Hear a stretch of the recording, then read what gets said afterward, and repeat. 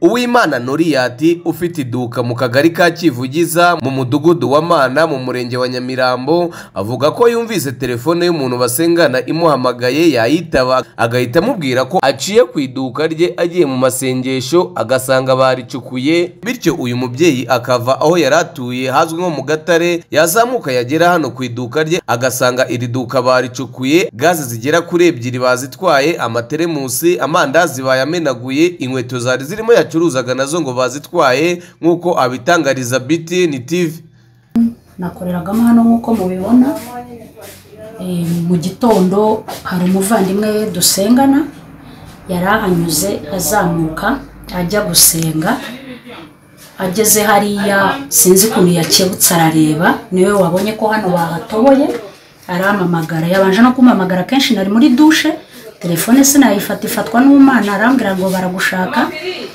Nyuma mvuye muri dushe ndamuhamagara. Amuhamagaye turaryamye. Inzu bayitoboye ibintu babijyanye. Kuko nari mvuye muri dushe nuko nahise nza nirukanka. Nje koko nsanga inzu bayitoboye. Ibyo bibye hari amacupa abiri ya gaze hano. Harimo iyari yuzuye n'indi twarimo gukoresha. Bibye na teremusi nakoreshaga eshatu. Ah, bakura n'ibindi bintu muri etajeri. Ibyo ni byo nashoboye kumenya. N'inkweto basuka hasi ubwo sinzi ngo batwaye zingahe. Uyu mubyeyi akomeza yifuza ko ngo ubuyobozi bwamutabara bakaba basaka umuhungu barimo gukeka ngo witwa mabure uhagarariye nyir'inzu cyane ko ari we bari gushyira mu majwi ngo dore ko no mu minsi yashize ngo yamubwiraga ko ahangaha atazahashobora ngo bitewe n'uko ngo yari yishyuye amezi agera kuri ane nk'uko uyu mubyeyi abigarukaho. Ah, njyewe icyo nakeka nk'umuntu muri iki cyumweru gishize nagiranye ikibazo na ba nyiraho. Si n'ikibazo gihambaye. Mfata nshaka amafaranga y'amezi ane ndayishyura.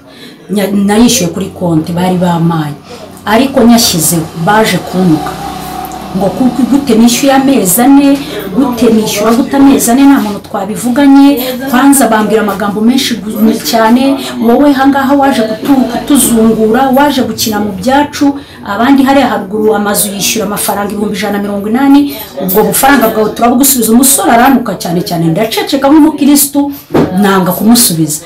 Ariko byanangaje kuba ibyo bintu ariko byarabaye none nyuma yaho bakaba ari bwo inzu yatoboye ikibwa ambwiraga ngo nitugushakamo ubwo bufaranga bwawe burengaho ku kwezi wagombaga kwishyura turabugusubiza weho kwanza nta nubwo twabana nawe ntabwo tugushakamo hano. Kuko nta kuntu umuntu yaterura gaze nijoro ngo abe yayizamura wenda kuri kaburimbo ntabwo byumvikana. Bigaragara yuko ibi bintu byibwe bishobora kuba biri hano hafi bishobotse yaba ubuyobozi bwamfasha tukaba twasaka tukaba tukareba ko twabibona.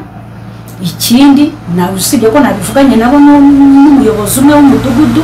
Ayo mafaranga yanjye bavugaga arengaho amezi atatu bayansubiza babyemeye bayansubiza ku kwezi kwarangira kubera ukwezi kwanjye kurangira ku itariki esheshatu ngewe nkahita mbaha inzu yabo. Abaturanyi b'uyu mubyeyi nabo bavuga ko ubuyobozi bwagakwiye kumufasha bugakora isaka ngo kuko ibingibi bibye ngo bitararenga muri izi ngo ziri hafi aha pesi nashinze umuntu ariko uwibye ntamubonye muduhaye uburenganzira mukadufasha mukatubwira ubuyobozi. Tugasaka nzi neza ko ibi bintu byahita biboneka. Kandi sinange njyenyine n'abandi hari n'abandi bavuga ati natwe tuzi inzu twahita dusakamo ebyiri twabisangamo. BTN TV yifuje kumenya icyo ubuyobozi bw'uyu murenge wa Nyamirambo buvuga kuri iki kibazo gusa ntibyadukundira ariko abaturage bo bakavuga ko ngo muri aka gace hakomeza kugenda hagaragara umutekano muke ngo iri duka bacukuye atari ubwa mbere baricukuye ariho bahera basaba ubuyobozi kuba bwabatabara ibyo bibye uyu mubyeyi bikaba byagaruka. Si ubwa mbere amakuru avugwa mu ba- mu baturanyi bose avuga ko umuntu wese winjiyemo hano ahava bamwibye kandi biba bimeze nabi. Ngendi Jacami iradukunda iyi ni BTN TV mu mujyi wa Kigali. Ni ku mupaka mutuza repubulika iharanira demokarasi ya kongo n'u rwanda.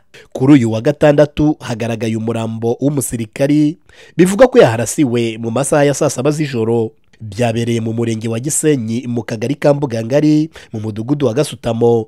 Bamwe mu baturage baturiye aha bavuga ko bahuye n'igihombo kubera iraswa ry'uyu musirikari dore ko benshi bashakisha amaramuko mu gihugu cya repubulika iharanira demokarasi ya kongo bavuga ko ubwo bageraga muri kongo basanze abaturage ndetse n'abasirikari bariye karungu bituma uyu munsi badakora ahubwo bahitamo kwigarukira mu ngo zabo. Hari n'abatigeze bajyayo bakimara kumenya iyi nkuru y'uyu musirikari warashwe. Mvuye muri congo nambutse hakiri kare bafunga umupaka mpita nambuka saa kumi n'ebyiri bafungura umupaka ni ho twambutse. Ariko mu by'ukuri twambutse tutazi ikibazo gihari. Tugeze dusanga nta bantu bari mu mihanda aho ngaho tugira ngo wenda nuko hari umuganda buri cyumwe buri wa gatandatu. Amakuru ya mbere tugeza tugezeho batubwira yuko ari umusirikare w'u rwanda. Barasiye ku butaka bwa kongo umusirikare w'u rwanda warasiye ku butaka bwa kongo twabashubije ko bidashoboka ibyo bintu.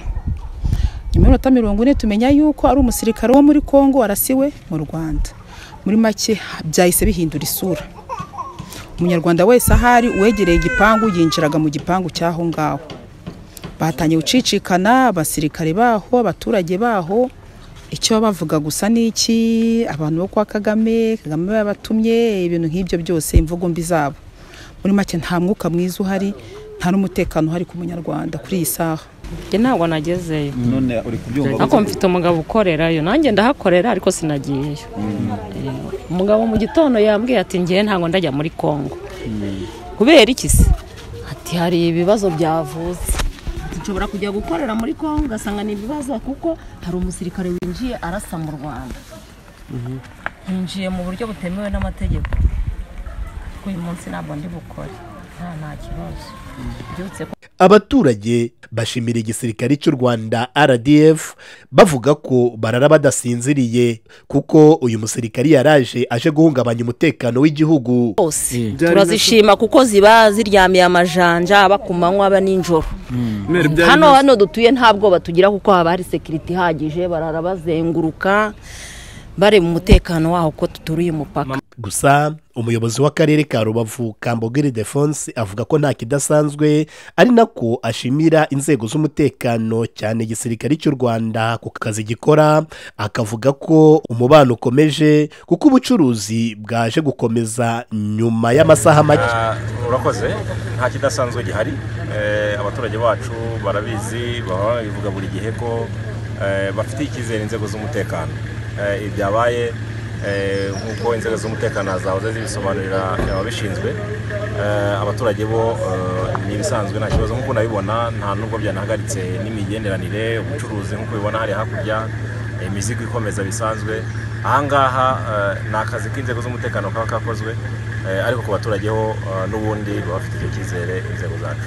Umurambo w'uyu musirikari wari wambaye impuzankano z'abasirikari barinda umukuru w'igihugu cya kongo wajyanywe mu bitaro bya gisenyi kuko itsinda rya gvm cyangwa se ba basirikari bagenzura umupaka batigeze bamwambukana muri congo. Dore ko nk'uko byari bisanzwe abasirikari ba kongo bazaga bakazana na ririya tsinda hanyuma bagasubiza umurambo wabo muri kongo ari byo umuyobozi w'akarere ka rubavu akomeza avuga ko inzego zigomba gukorana. Uyu murambo ukazasubizwa iwabo muri kongo patrick mayisha btn tv mu karere ka rubavu mu ntara y'uburengerazuba bw'u rwanda. Uruganda rwitwa shiringitoni ruherereye mu murenge wa gatenga akagari ka gatenga ngo imashini ishongesha ibijyanye n'ibyuma ngo yaje guturika irashwanyagurika ngo abagera muri bane barakomereka bikomeye ngo bityo bahita babajyana kwa muganga ariko aba baturage bavuga ko iri turika ryabaye ngo amabati yagurutse akagera hafi mu kilometero nk'uko babitangariza btn tv ukuntu bigenze tujya kumva twumva ikintu kiraturitse tugira ngo ni nk'inkuba ikubise. Noneho nari ndi kumwe na mugenzi wanjye turi mu rugo we yari yicaye ku buriri ariko ewana yari agiye kugwa hasi. Abantu bavugaga yuko ari nka gaze ituritse ariko urebye ngo ni imashini yaha mu ruganda rwa shiringitoni ishongesha ibyuma yaturitse. Byangiritse ni byinshi kubera yuko twasanze amabati y'uruganda. Yagurutse agera kure urebye harimo n'abantu bakomeretse.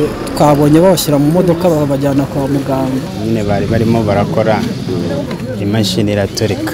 Banza abantu bakomeretse byatari abantu bane nibo bakomeretse abandi bagiye bakomereka bisanzwe. Oya ntabwo bwaba ari uburangare bishobora kuba ari nka siriko y'imashini bigahita bikora siriko bigahita biturika. Amabati yagiye fo byatari bahungabanye bya cyane ahubwo. Bakomeza basaba abakoresha ibyuma bijyanye n'umuriro kuzajya babanza bakabigenzura kugira ngo bitakomeza kugenda biteza impanuka za hato na hato. Ibyo ari byo byose wenda nkanjye uko mbyumva. Nkeka yuko wenda ari nk'ibyuma biba bifite ikibazo wenda abatekinisiye babyo bajya babicekinga cyane kugira ngo wenda bidateza impanuka bigahitana ubuzima bw'abantu cyane. BTN TV yagerageje kuvugisha ubuyobozi bw'uyu murenge wa Gatenga ndetse n'ubuyobozi bw'uruganda ntibyadukundira ariko abaturage bo bagahamya ko ngo ibi ngibi mu gihe bidakosotse ngo impfu za hato na hato zishobora kuzakomeza kugenda ziyongera ariko ubwo BTN TV yavaga kuri uru ruganda rwa Shillington inzego z'umutekano na zo zari zahageze zikomeje akazi kazo. Ni inkuru ya janvier kamanzi semigabo mu ijwi rya jehami iradukunda ku bwa btn tv mu mujyi wa kigali.